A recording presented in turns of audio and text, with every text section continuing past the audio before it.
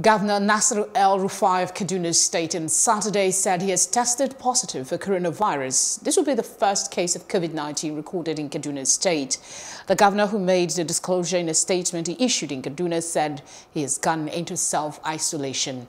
The governor appealed to the people of Kaduna State to continue to closely observe the preventive measures already announced. And I regret to say that it is positive.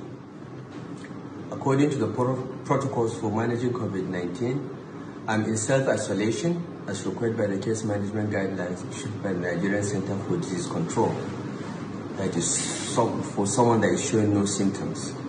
I wish to appeal to the people of Kaduna State to continue to closely observe the preventive measures already announced by our government. It is most important that everyone should do their utmost to stay safe, stay home, and stay alive.